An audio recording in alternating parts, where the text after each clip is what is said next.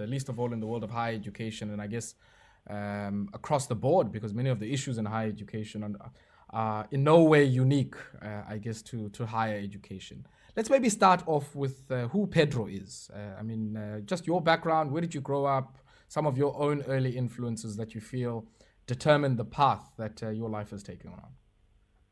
Yo. I didn't expect this one. Um, you didn't expect this one. Hi, Chief. Oh. okay, so I think, I, well, I guess I was born as Velicha, uh, near King Williamstown in the Eastern Cape uh, 30 years ago. That is where I was. That's where I grew up. That's where I did my basic education schooling.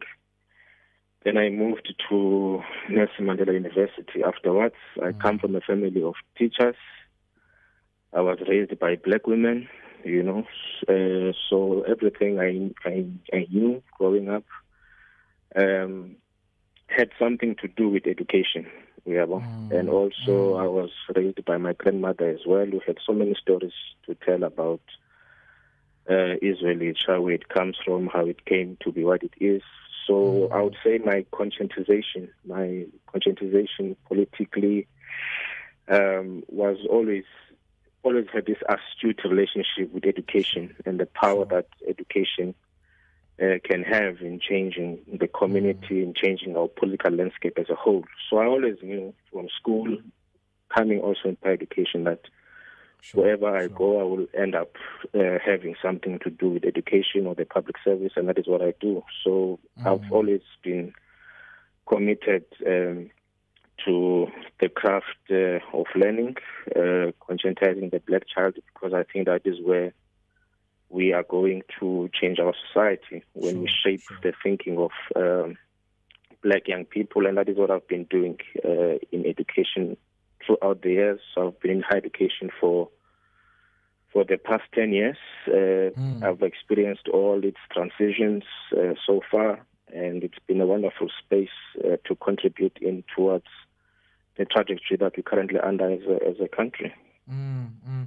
And it's also, I guess, you know, higher education a very interesting microcosm of very, much of what we see uh, across our society. Um, and maybe talk to me, I guess, about what what you've always seen as the sort of political economy of higher education and how that has given rise to all of the things that we often talk about in reports, right? Uh, it might be lack of student housing, uh, students effectively, you know, in many cases uh, living in slums, uh, not enough infrastructure, but also, I guess, uh, the issue of fees and how that loomed large uh, at a critical time where you were also in student mm. leadership as uh, SRC president.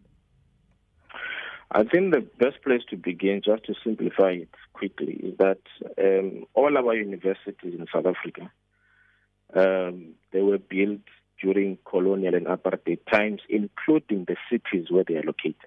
If you look at East London, you look at Johannesburg, you look at Cape Town, and the universities inside those cities, they look exactly like Europe. You know, if you if you if you've traveled to Europe, especially to places like Oxford and London, uh, the way the cities are organized, the way mm-hmm. universities mm-hmm. are organized, they are similar. So, in essence, the project of coloniality was to make white people feel comfortable wherever they go. You know, so whether they're in Europe, whether in Australia, whether they're in South Africa, everything must look like Europe. And that is also resembled in the knowledge that we imbibe, you know. So with higher education, simply because we have a degree or a master's or a PhD, it does not necessarily mean that you are educated per se, especially in our own universities, because mm. you can you can go through the system and absorb poison, you know, that would mm uh, make you go out of the university and do the total opposite of what you're supposed to do to liberate your own people. And that is what we see today, you know. So you have people with power in institutions of influence, but they're not doing the necessary work that was supposed to be done. And we call them qualified because they've imbibed the poison that institutions of higher learning are supposed to do. So that is why the program that young people have been raising since 2015 to decolonize institutions of higher learning is so important. It's about our humanity. It's about restoring who we are uh, as a nation.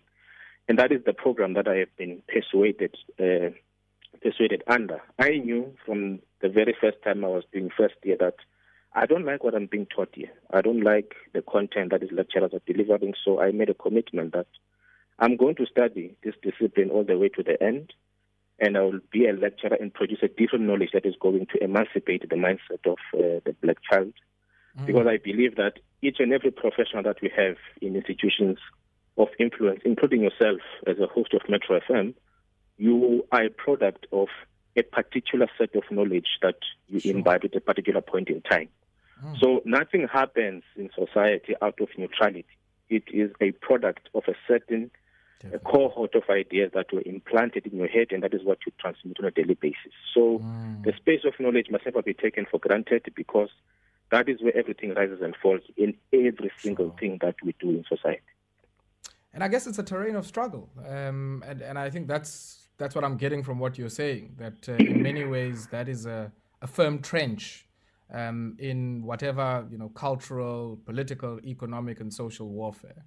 Um, that many many people, mm. many young African and Black students who go to institutions like the Nelson Mandela University um, find themselves in. Um, and, and I'm quite interested, I guess, in how you, you also speak about these notions of urban citizenship, studentification. I, mean, I didn't, uh, you know, I didn't know that uh, uh, that concept, and I find it quite interesting. I mean, uh, so, so, talk to me about how that finds expression in some of your work, um, and also, I guess, in some of the teaching work that you do, um, picking up the traditions, as you said, coming as you do from a from a, uh, a family of uh, teachers and many people who are interested in, in the project of education. In my PhD, the main message I was driving home was that, firstly, each and every black family is changing since uh, 94. Uh, let's make a simple example. Back in the day, during the times of uh, labor migration, black families used to lose mainly male figures of the family, and they would ordinarily be in their 30s, in their 40s, and they would go to the mines to look for work. So migration in the black family used to occur amongst males who are in their adult life. But since 94, we're now beginning to experience something quite unique and different in black families, where now it is a 17 year old and an 18 year old that migrates from the family. And they go to the city for themselves to face that place in isolation as individuals. And we're talking about a 17 year old, their first time out of the family, and they're not going there to work. They are going there in the city to be students. And mm. over, the overwhelming majority of, of, of young people in their in the age of 17, 18, when they go to universities, there are high chances that they will stay inside the city because we no longer have small universities with small classrooms where everyone stays on campus. Sure. Our universities now are massifying because under apartheid, they were only built for about 10 or 20 professionals who are going to be white and so on. Mm. But now universities are massifying. Everyone must go to university. So they, institutionally, they are bloating out into the city. So residences are now being built into the city, and we have 18 year olds now scattered in that city. So mm. the concept of studentification speaks about that the changing landscape of our cities now, to beca- and they are becoming more younger and more identified. There's a high population of students now scattered all over Cape Town, Port Elizabeth, mm. and uh, and Johannesburg, and that introduces a completely new dynamic for municipalities to comprehend, sure, sure. Uh, for communities to comprehend, So our political economy of education now has changed drastically uh, over mm. the past uh, uh, uh, 15 years. And these are very complex questions that we have to deal with, and they speak yeah, at the yeah. core about the urban landscape, how the land question is organized in the city, and how it affects the mm. daily life of students. So that's what the point I was driving in my sure, PhD. Sure.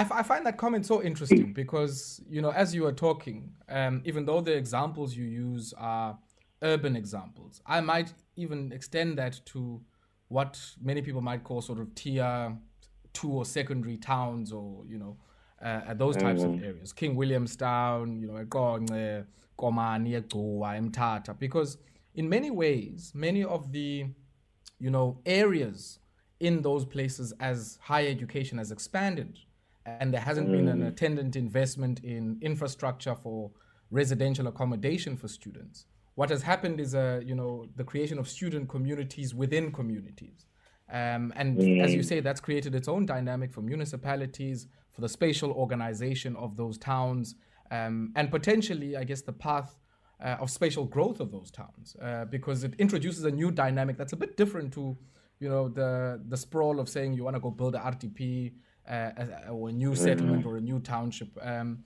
and, and I think for me that that type of social change. Um, I don't know. I mean, has it translated into how we then understand the change in our cities and by extension how how and what we teach in the classroom mm. yeah no you're spot on correct and if you look at these small towns i'm mentioning alice mm. um, grahamstown stellenbosch uh, today those towns survive because those universities now are the major employers of those towns mm. um, in fact those universities now are are the economy of those towns you know so when you are a vice chancellor of Fort Hare Stellenbosch or Rhodes, you are close to being a mayor as well, you know. And um, even the notion of building universities in small towns explains the logic of the colonizer at the time. You know, how how did they conceptualize what a university is, its purpose, and also their intentions of designing these kind of things? You know, so they wanted you to be isolated in a small town because when you imbibe knowledge, you need to be isolated. And one of the key things that uh, higher education does now to you as an individual, as an individual, it firstly deculturalizes you. You right? You get to learn in a foreign language that is different from your own. Right? In other words, you get to uh, depart from your culture and from who you are from your language. And that is very dangerous because it is from culture, Ayabonga, where you get the necessary tools to interpret your reality, you know. Uh, how you know what time it is, how you know what the essence of success means to you, your, your, your idea of manhood, all those things, you derive that meaning and tools from your culture that is informed by your language. So once, once you get to imbibe this foreign concept of, uh, of education, in an isolated town, far away from where you belong, right? You get now to be alienated from your community and from the kind of a person that you are. So, part of the post apartheid project, in my view, should be the building of these institutions in a manner that will be incongruent with the communities that we're trying to build as well. There mustn't be a Chinese wall between communities, education and universities, the teacher, the student, and the family all those different um, ecosystems of life, they must coexist together. And for me, that would be an, a unique African project of education that could make us imagine other aspects of life that are so important to us, such as family, the economy, and so on. Right? Um, I think some of the things that I'm mentioning came out strongly from from from the book that you've written. Uh, I must admit I haven't finished reading it. I'm glad we're having a chat today. I wanted to congratulate you on the on the on the on the publication. Uh, so part of your own work as well, the the, the the, the planting of ideas on paper for distribution to young people mm. is part of the important project of conscientization, sure, driving us sure. towards the society that we want. Yeah, definitely.